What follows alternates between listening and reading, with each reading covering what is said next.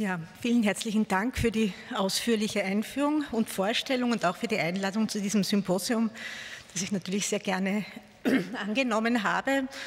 Und ich habe da ein Thema aufgegriffen, das mir auch die Elana mal nahegelegt hat. Wir haben öfters darüber gesprochen. Es gibt da doch diese Else Hoffmann, über die man mal recherchieren sollte und über die man eigentlich recht wenig weiß. Und ich habe mir das irgendwie zur Aufgabe gemacht, dem etwas nahe, irgendwie etwas irgendwie nachzugehen. Ja, 2108 wurde im Hof 9, dem Campus der Uni Wien, ein Denkmal für die ausgegrenzten, emigrierten und ermordeten des Kunsthistorischen Instituts Wien feierlich eingeweiht. Sie kennen dieses Denkmal alle, also wenn man dort auf das Institut kommt, steht jetzt dieses Denkmal vor dem Institut und es zeigt einen entzweigerissenen runden Tisch mit umstehenden leeren Stühlen, in dessen Mitte ein Baum gepflanzt wurde. Eingraviert ist ein, in eine Glasplatte sind die von Studierenden ermittelten Namen der Vertriebenen zu lesen. Die Ergebnisse der Recherche wurden im selben Jahr dann in einer Ausstellung gezeigt und es gibt eine Datenbank, in der man die Ergebnisse nachlesen kann.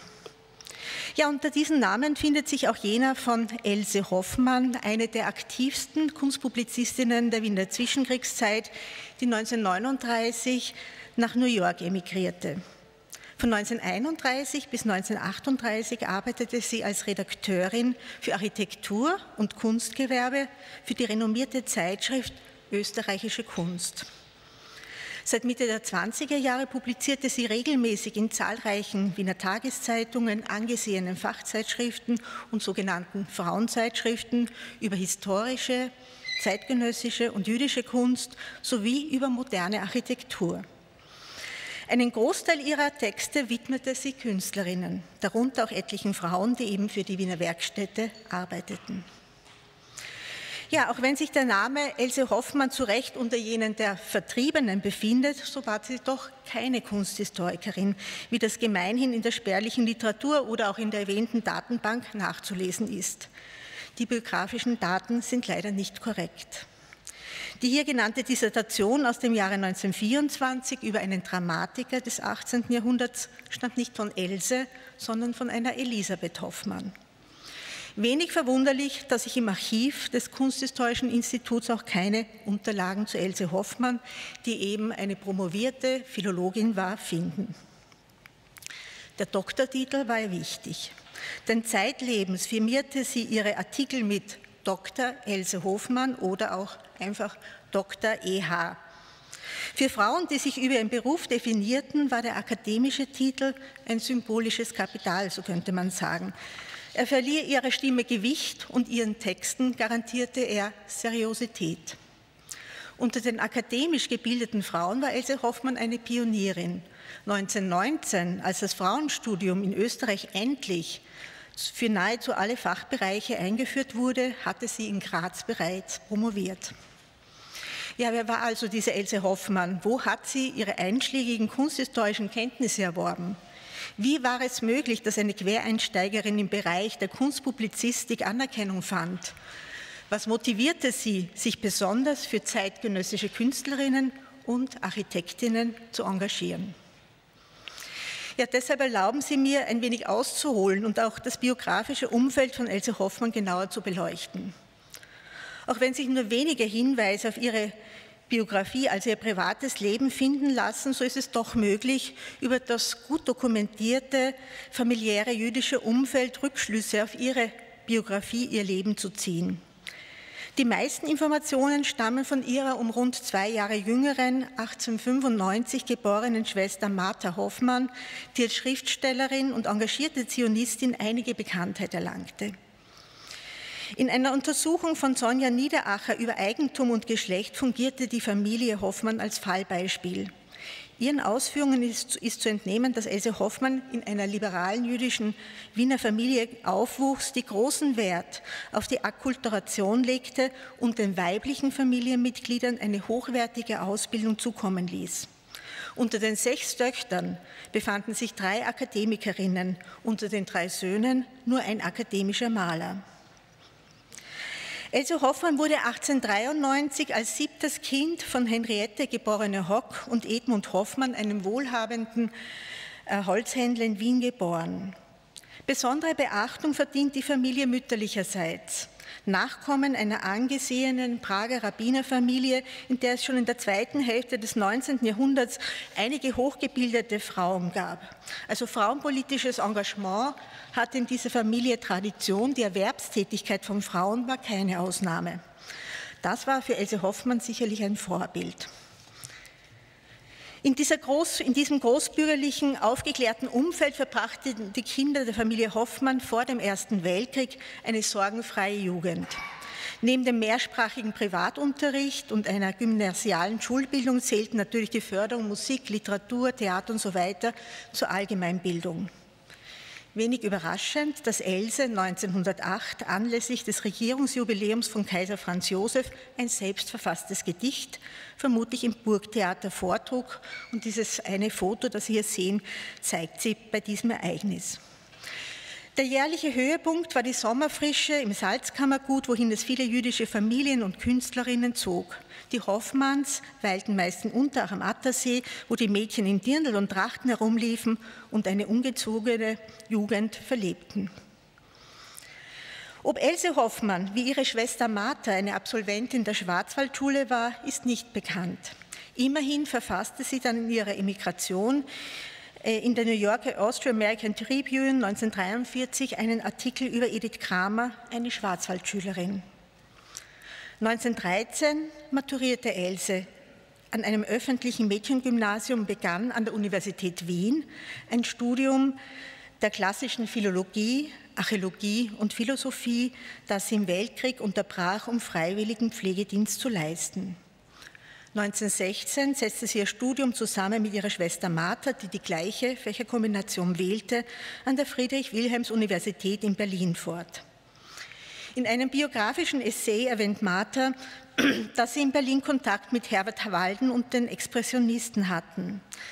Die Aufgeschlossenheit für die Künstler der Avantgarde teilten sie mit einem anderen prominenten Schwesternpaar, nämlich Rosa und Anna Schapire. Rosa Schapire, die jüngere Schwester der in Wien lebenden Sozialwissenschaftlerin Anne Schapira-Neurath, also das war übrigens die erste Frau von Otto Neurath, hatte 1904 in Heidelberg als Kunsthistorikerin promoviert und setzte sich als Autorin und Mäzenin zeitlebens für die Künstler äh, der Brücke und ganz besonders für Karl Schmidt-Rottloff ein. Sowohl die Schapire als auch die Hoffmann-Schwestern hatten einen engen Bezug zur modernen Kunst, zur sozialistischen und auch zur Frauenbewegung. Ja, während Martha nach einem Semester in Heidelberg 1920 in Wien promovierte, zog es Else 1919 nach Graz. Der Grund ist nicht bekannt. Sie spricht rückblickend von Schicksalsfügungen. Hier promovierte sie 1919 mit einer Arbeit über das Leben und die Werke des Varro von Artax, einen römischen Dichter des ersten Jahrhunderts. Ein 1945 verfasster Rückblick aus dem New Yorker Exil auf ihre Studienzeit in Graz fällt äußerst positiv aus. Hierin beschreibt sie die anregende Atmosphäre und Aufbruchstimmung in Künstlerkreisen und den 1919 gegründeten Werkbund Freiland, einem losen Zusammenschluss von Kunstschaffenden aller Sparten, vorzugsweise von Literaten, die sich als Vorkämpfer der Moderne und vor allem des Expressionismus verstanden. Besonders beeindruckt war sie von Ernst Fischer, dem Redakteur des Arbeiterwillens und dem späteren KPÖ-Politiker. Unter den Künstlern finden Axel Leskoschek, Fritz Silberbauer und Wilhelm Töni Erwähnung. Erwähnung. Über alle hat sie dann später Artikel verfasst. Hofmann fühlte sich in diesem künstlerischen Zirkel Gleichgesinnter gut aufgenommen, knüpfte Netzwerke, trat in die Sozialistische Partei ein, interessierte sich für Architektur und Kunstgeschichte. So beteiligte sie sich an den Führungen des Grazer Kunsthistorikers Karl Gazzarolsi Turnlack, also dem späteren Direktor der österreichischen Galerie. 1919 publizierte Else im Grazer Leikam Verlag den Gedichtband Die Gespräche, eine zyklische Dichtung, ein etwas akademischer, trockener Text, der anlässlich einer Lesung von Ernst Fischer, man könnte fast sagen, vernichtend, kritisch rezensiert wurde. Er schreibt, Else Hoffmann, es genügt nicht, über dem Leben prüfend und klug zu sinnen. Man muss es erleben, mit Mark und Blut. Denn Kunst ist nichts anderes als konzentriertes Leben. Else nahm es ihm nicht übel, veränderte aber den Fokus. Möglicherweise hat sie seinen Rat befolgt und genoss die Grazer Zeit in Künstlerkreisen. Hier dürfte sie sich jedenfalls ein profundes Wissen und und das Wissen also über, über, und eben über den Kontakt mit den zeitgenössischen Künstlern ein Verständnis für die Kunst und die Architektur angeeignet haben. Ja, die Rückkehr nach Wien um 1924 steht vermutlich im Zusammenhang mit dem Tod des Vaters 1923 und das zionistische Engagement ihrer Schwester. Diese hatte 1925 in der WIZO, der Women's International Zionist Organization, der ersten weltumspannenden zionistischen Frauenbewegung, die Zentralstelle für Kulturarbeit übernommen. Für die 1930 erschienene Festschrift Zehn Jahre WIZO steuerte Elle seinen Beitrag über das jüdische Kunstgewerbe im Reich der Frau bei. Eine vergleichsweise regelmäßige Berichterstattung über jüdische Kunst und Künstlerinnen findet man sonst nur bei Kunsthistorikern, wie zum Beispiel Max Eisler oder Wolfgang Born, die eben auch beide jüdischer Herkunft waren. Ab 1924, 25 begann Hoffmann eine rege journalistische Tätigkeit in jüdischen Tageszeitungen und Zeitschriften wie in der Wiener Morgenzeitung oder Menorah, in der linksliberalen Zeitung Der Tag oder auch in der liberalen neuen freien Presse. Unter den Publikationsorganen finden sich auch ausgefallene Medien, wie die von Gina Kaus herausgegebene Zeitschrift des Bundes für Mutterschutz, Die Mutter, für die sie eine zehnteilige Serie zum Thema Das Kind in der bildenden Kunst verfasste. Dazu passt auch, dass sie für die Ausstellung im Wiener Messepalast Frau und Kind die Abteilung Die Schlafstätte im Wandel der Zeit arrangierte.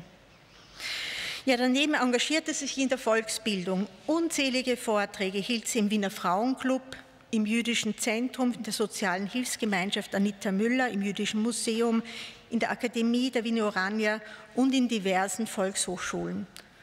Daneben bot sie Führungen in Ausstellungen, Museen, Galerien, Ateliers an. Sie referierte über klassische kunsthistorische Themen mit einem Schwerpunkt auf die italienische Renaissance, aber auch über bedeutende Frauen der Renaissance oder auch einfach über den Bubikopf, die Kurzhaarfrisur der modernen Frau, die sie selbst trug. 1926 eröffnete Else Hofmann in der elterlichen Wohnung in der Bontegasse 13 im dritten Wiener Gemeindebezirk das Wiener Studio. Hier bot sie Kurse für Kunsterziehung, Geschmacks- und Wohnkultur, Beratung bei Inneneinrichtungen, Kunstwanderungen oder Vorbereitungen für Kunstreisen, zum Beispiel nach Paris, Florenz oder Berlin an. Die intensive freiberufliche Tätigkeit als Journalistin und Kunstvermittlerin kompensiert natürlich die fehlende Fixanstellung im Wissenschaftsbetrieb, unter der natürlich auch viele promovierte Kunsthistorikerinnen litten. Die ersten Kunsthistorikerinnen waren als Mitarbeiterinnen im Museen gerne gesehen, leisteten Zuarbeit, wurden aber nicht oder schlecht entlohnt. Ihr frauenpolitisches Engagement führte Hoffmann zum Bund österreichischer Frauenvereine, dem 1902 gegründeten äh, Dachverband der bürgerlich-liberalen Frauenvereine. Ja, für das vom BÖF 1928 bis 1938 herausgegebene Vereinsorgan die Österreicherin, wo sie auch im Unterausschuss für Pressekommission, der Pressekommission für Kunst tätig war, verfasste sie zahlreiche biografische Artikel über Künstlerinnen und ihre Ausstellungen. Mit ihren Artikeln prägte sie die Rezeption österreichischer Künstlerinnen nachhaltig. Künstlerinnen betrachtete sie aber auch unter einem nationalökonomischen Gesichtspunkt, die, wie sie schrieb, ein aktiver Teil unserer Volksgemeinschaft werden sollen und bei geeigneter Förderung werden können. Talent ist genug vorhanden.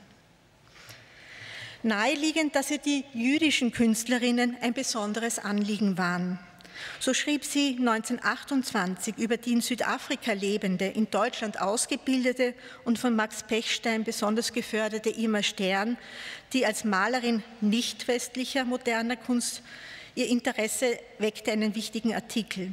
Wichtig war zu betonen, dass, Zitat, die Negerkunst nicht verheerend, wie viele unserer Kulturkämpfer glauben, sondern bereichernd wirke. Der Seitenhieb auf die rassistische Kulturpolitik des aufkommenden Nationalsozialismus ist bemerkenswert und zeugt von klarer Haltung und Weltoffenheit. Eine weitere Außenseiterin, der sie einen ausführlichen Artikel widmete, ist die französisch-israelische Bildhauerin Hanna Orloff. Hoffmann hatte sie 1926 in Paris kennengelernt und in ihrem in von, Auguste Perret erbauten Atelierhaus besucht. Orloffs voluminöse Skulpturen, die einen glatten, kubischen Stil charakterisieren, verglich sie mit jenen der Wiener Tierbildhauerin Hanna Gärtner der ersten Absolventin der Akademie. Damit reihte sie die Wienerin in den internationalen Kontext ein. Neben den bildenden Künstlerinnen galt ihr Interesse den Kunsthandwerkerinnen der Wiener Werkstätte, die nun auch in dieser Ausstellung im Markt gewürdigt werden. 1930 und 1931 verfasste sie einige Beiträge für die Zeitschriften Deutsche Kunst und Dekoration und Innendekoration. Diesen profunden Fachbeiträgen dürfte sie auch ihre Redakteursstelle in der Zeitschrift Österreichische Kunst zu verdanken haben. Den umfangreich illustrierten Artikeln ist zu entnehmen, dass sie die Künstlerinnen, die allesamt Mitglieder der 1926 von Fanny Halfinger gegründeten Wiener Frauenkunst waren, persönlich kannte und in ihren Ateliers aufsuchte. Darunter findet sich auch einer der wenigen Artikel der 1941 nach Polen deportierten und ermordeten Bildhauerin und Keramikerin Grete Neuwalder-Breuer. Ihre in Ton geformten, glasierten und bemalten Keramiken vermitteln einen Hauch von Exotik. Des Weiteren berichtete sie über die Emailkünstlerin Mitzi Friedmann-Otten, die wie Neuwalder eine Astronautsschülerin war. 1943 besuchte Hoffmann die in die USA geflüchtete Friedmann Otten in ihrem New Yorker Atelier, das sie mit der Wiener Maikünstlerin Käthe Berl teilte. Im Gespräch bezog sich Friedmann Otten auf Hoffmanns Artikel aus dem Jahre 1931 und meinte, sie hätte doch schon alles über sie geschrieben. Was soll ich Ihnen dann noch Neues sagen? um dann doch um, über ihre Zeit in der Wiener Werkstätte und die Pariser Ausstellung von 1925 zu sinnieren. Damals knüpfte sie Kontakte zu amerikanischen Sammlern, die ihr die Emigration ermöglichten.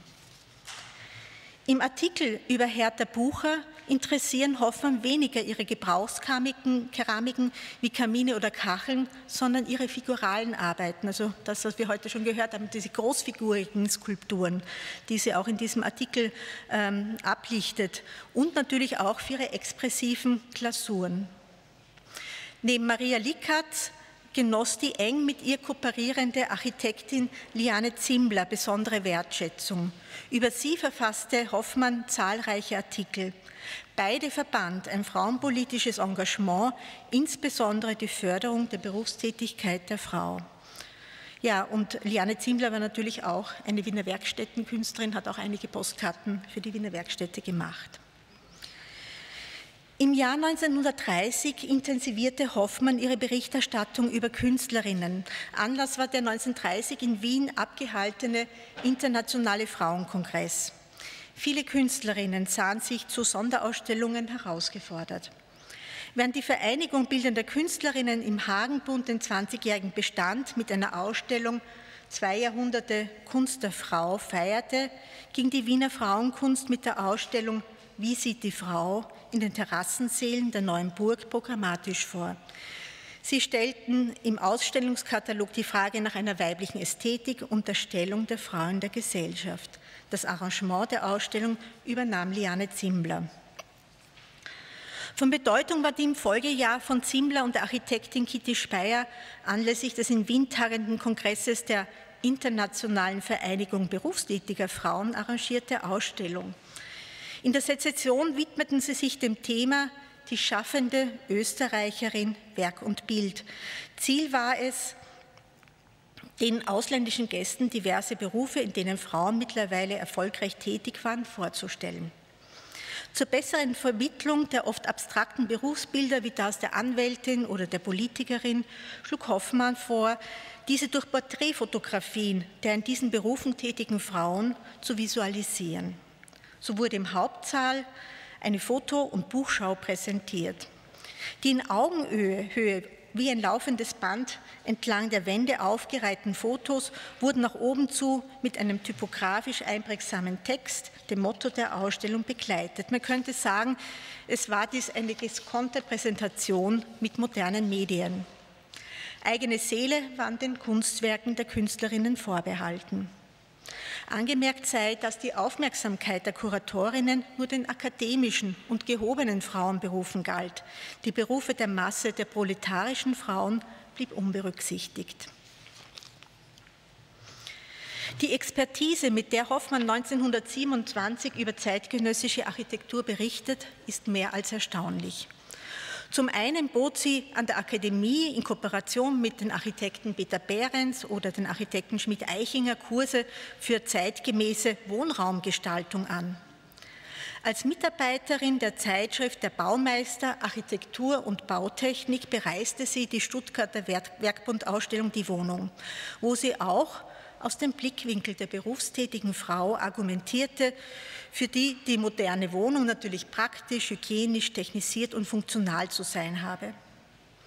Hierbei outete sie sich als ein Fan von Le Corbusiers Wohnmaschine, seinem Radikalismus in der Inneneinrichtung und der Farbgestaltung. Josef Frank, der auf dieser Ausstellung viel Kritik einstecken musste, genoss unter den Gemäßigten ihre Wertschätzung, weil er eben, wie sie sagt, auf die persönlichen Bedürfnisse der Frau eingegangen sei und dass trotz, des technisch praktischen, trotz technisch praktischer Sachlichkeit ein menschlicher Ton herrsche. Naheliegend, dass auch Oskar Strinnerts Raumkonzept ihrem Verständnis vom Wohnen besonders entsprach der ihr 1930 in einem Interview mitteilte, Zitat, ein Haus zu bauen und einzurichten ist im Wesentlichen eine soziale Frage. 1932 ähm, war Hoffmann bis zur Übernahme der Zeitschrift ähm, Österreichische Kunst durch die Nazis eben als Redakteurin für Architektur und Kunstgewerbe zuständig. Und sie publizierte hier unzählige Artikel über zeitgenössische Architektinnen und Architekten. Abgesehen von den wenigen Architektinnen wie zum Beispiel Margarete Schütte-Lihotzky, Ella Brix-Baumfeld und Leonie Pilewski schrieben kaum Frauen über Architektur. Das gegenüber Architektinnen immer wieder vorgebrachte Vorurteil, Frauen fehle es an räumlichen Vorstellungsvermögen und so weiter, dürfte auch in der Architekturpublizistik einen Nachhall gefunden haben. Diese war jedenfalls fest in Männerhand. Mit dem Anschluss Österreichs an Nazi-Deutschland wurde diese lebendige Kultur der Kunst- und Architekturjournalistik, in der sich engagierte Frauen wie Else Hoffmann eine angesehene Position erarbeiteten konnten, je unterbrochen. Am 25. Dezember 1938 gelang die Flucht über Paris nach New York, wo sie im Jänner 1939 eintraf. Darüber, wie es ihr im Exil ergangen ist, weiß man wenig. Ein Nachlass existiert nicht. Immerhin fand sie hier Familienanschluss, da ihre Schwester Hedwig Fischer, eine Ärztin in New York lebte und der in den 20er Jahren schon ausgewanderte Bruder Ernst in Montreal. In New York schlug sie sich erneut als Freiberuflerin durch, schrieb für Exilzeitungen wie die Austro-American Tribune über österreichische Künstlerinnen und Künstler, bot Vorträge, Führungen und Kurse an. 1960 verstarb Else Hoffmann in New York. Vielen Dank für Ihre Aufmerksamkeit.